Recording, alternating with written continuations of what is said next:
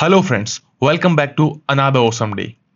Day 67 of the 100 days of algo trading with Python. In this video, we will try to understand some very basic terminologies in the machine learning so that we will be clearly able to differentiate between different terms. So first of all, we have algorithm and model.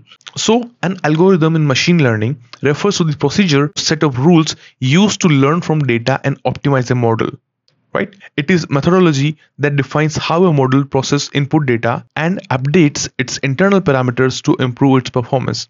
For example, linear regression algorithm, decision tree algorithm, k-means algorithm, and gradient descent algorithm whereas a model in machine learning is the final product that results from applying an algorithm to a dataset. The model is essentially a mathematical representation of a system that has been trained and can make predictions based on new unseen data.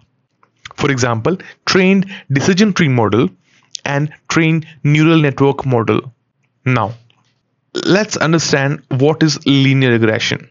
Linear regression is a statistical technique used to find the relationship between variables. So what are variables? We know that when we have a table and let's say in one column we have a exponential moving average and on one column we have price right so it could be let's say 10 then the price will be 12 it could be let's say 15 then the price will be uh, 13 when 20 it is 14 so these are variables right? So this EMA can be assumed as the independent variable and this price can be assumed as the dependent variable right? And when we have a linear relationship between two variables we can consider that as a straight line right? This one. And this is x and this is y.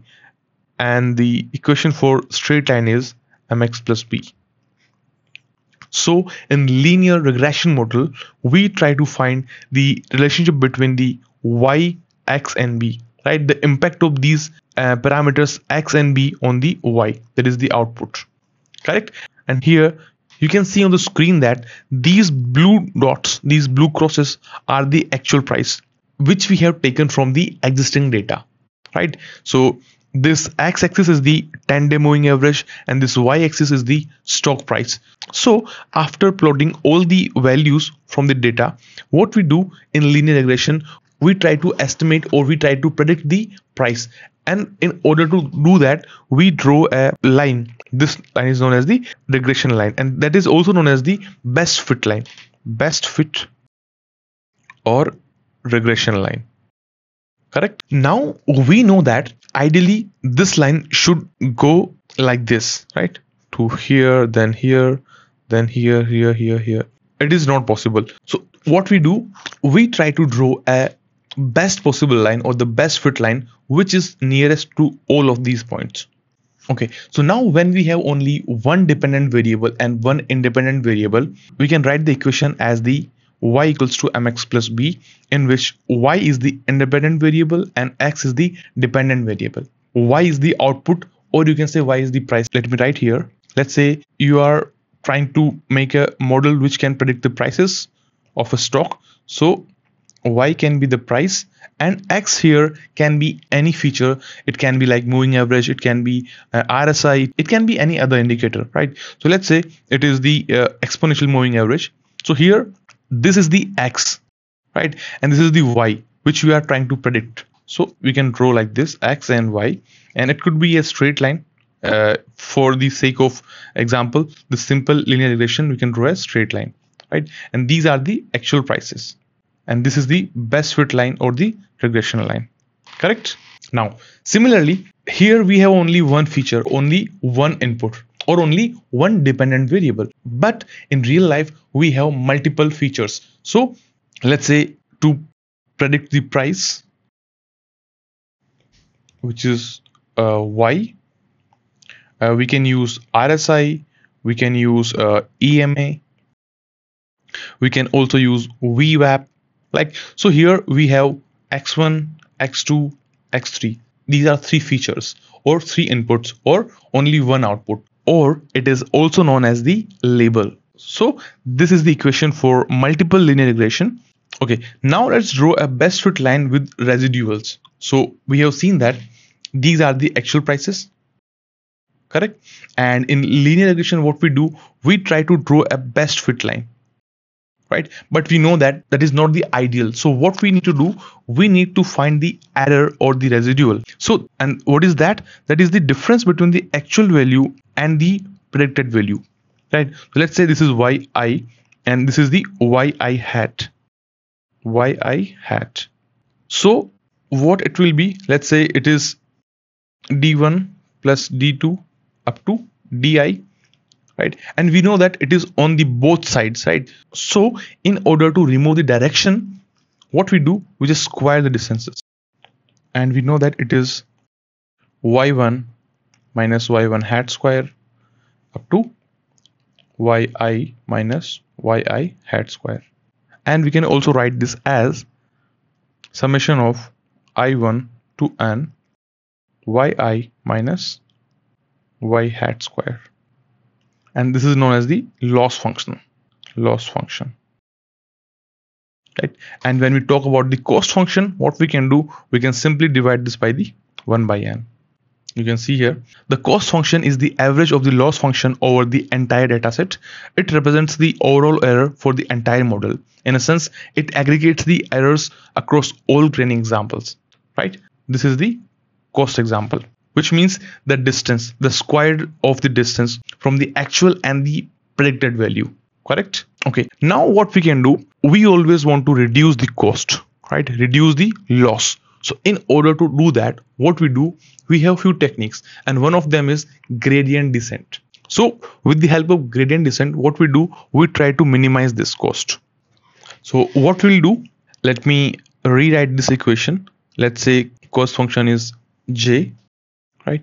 And let me write i equals to 1 to n and here yi minus I'll just replace this with we know that yi hat is equals to mxi plus b right? I can write like this mxi minus b whole squared. And we know that this j is the function of m and b so I'll write like this right? So here what we can do in order to minimize the value of j or the cost function we can tweak the value of m and b. And what is the m and b here? M is the slope and b is the intercept right so let's understand the gradient descent so gradient descent is an optimization algorithm used to minimize the cost function by adjusting the model's parameters it is widely used in machine learning, especially for linear regression and neural networks to find the best fit line or the hyperplane. Now, there are two new terms. What is the parameters? So, what are the parameters here? These m and b are the parameters, right? So, we can tweak these parameters and we can get the value of j as required, like the minimum value correct? The cost function right? Okay now let's understand the difference between parameters and hyperparameters. So the example of parameters is weights biases and decision boundaries. So we know that this weight and bias is nothing but let me write the equation. Y equals to mx plus b. So here this m is the weight this b is the bias and y is the prediction?